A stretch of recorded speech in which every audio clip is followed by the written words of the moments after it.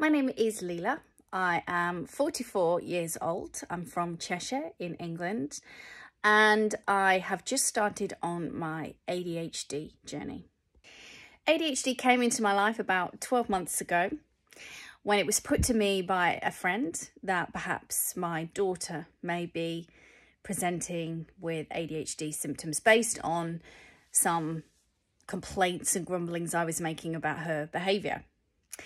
Now, my understanding of ADHD at the time was that it was kind of disruptive, naughty children. Um, so my knowledge and understanding of ADHD was very limited. So off I went to do some research to learn a bit more about ADHD to see whether maybe she was right and my daughter did perhaps was displaying some ADHD tendencies. Although at the point, at that time, I was thinking, hmm, she's so quiet. How could she possibly have ADHD? And then maybe several hours of Google searching later, I disappeared down an ADHD wormhole where I realized that actually everything I was reading was describing me and my behaviors, thoughts, feelings, emotions. And it was like somebody had just turned on a light switch. The irony of this situation and the timing of it was perfect actually because at the time I'd just come to the end of some counselling sessions and this is the third time I've kind of gone through that process because I was struggling with letting go of the past.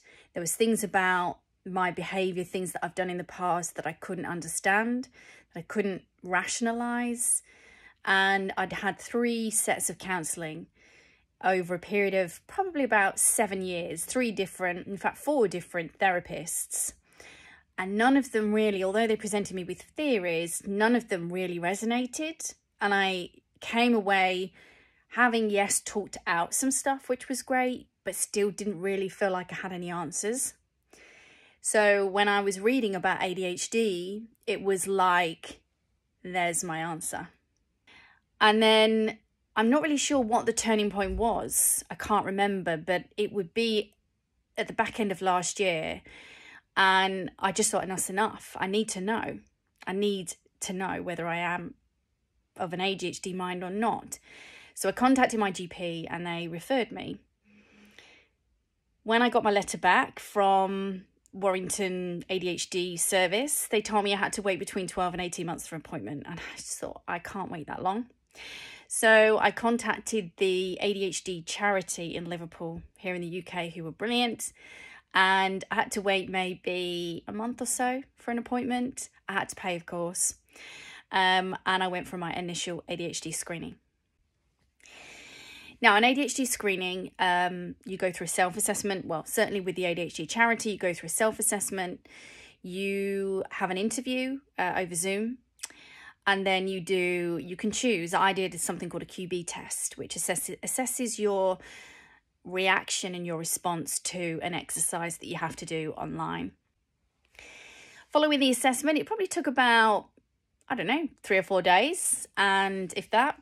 And I got my report back via email, and it kind of confirmed what I already knew. But in fact, it was probably more severe than I had anticipated. So for inattentive, uh, I scored nine out of nine, and for hyperactive, eight out of nine. So where I'm at now is, or where I was at a couple of weeks ago when I got the report back, is I had to make a choice. And to be honest, it's a difficult one because there's one side of me that thinks, well, I've managed for 44 years without knowing that I have ADHD.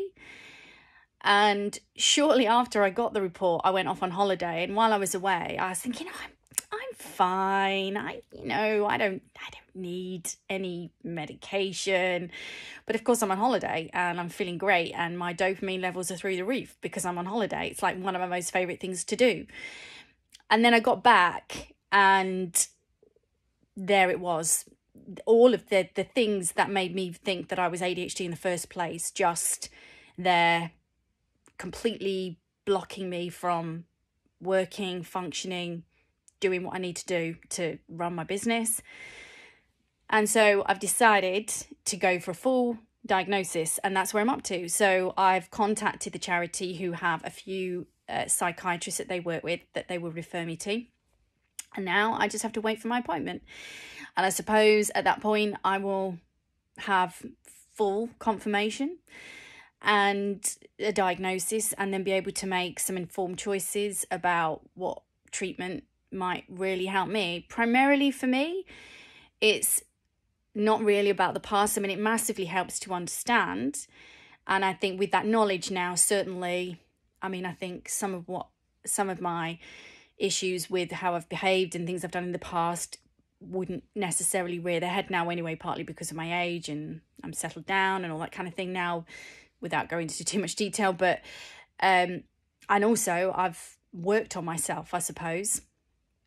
Uh, but in my my day to day life, in my business, and in my certainly my last job, um, it was crippling. So I feel as if without help, I'm it's just going to be a constant struggle. Perhaps maybe until I just get completely burnt out. I kind of debated a lot about whether to do this little video vlog, whatever it's called, because it's a very, very personal thing. And actually, I've told very few people about this. Um, and I haven't had a formal diagnosis yet, but I think it's, for me, a pretty foregone conclusion. Um, but I suppose if there's one thing that I would say that I have felt throughout my life is lonely. Um, because I've felt not so much that nobody understood me, but that I didn't understand me. You know, ironically, I've spent the majority of my working career in HR, uh, having to understand other people. And I feel like I have a great grasp, a great intuition to understand other people. But when it comes to understanding me and my behaviors and why I do things and why I can't do things, that was the hardest part for me. And that was what, where I felt incredibly lonely, trapped, confused, perhaps at times even incredibly low and depressed.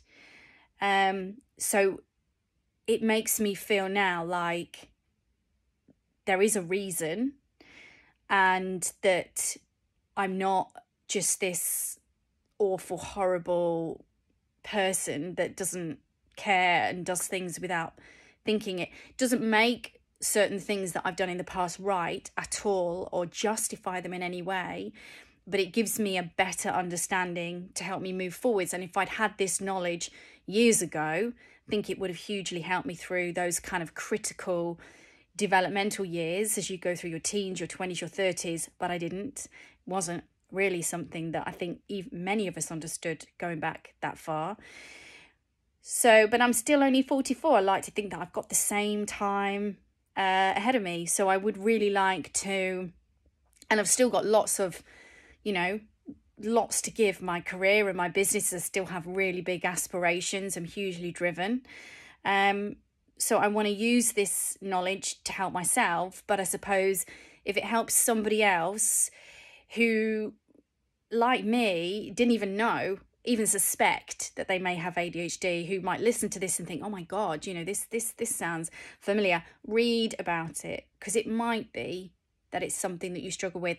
Now, I think there's a very close correlation between ADHD and anxiety. Now, I do suffer acutely with anxiety, um, and the two can go hand in hand, but can also be two separate things. So I think some people perhaps confuse anxiety with ADHD, but obviously that's what the assessment process is for, is to kind of kind of decipher between the two and give you that medical perspective. Um, but I think it's important that if you're struggling and you think that there's something not right and something inside is telling you something's not right, listen to that inner voice.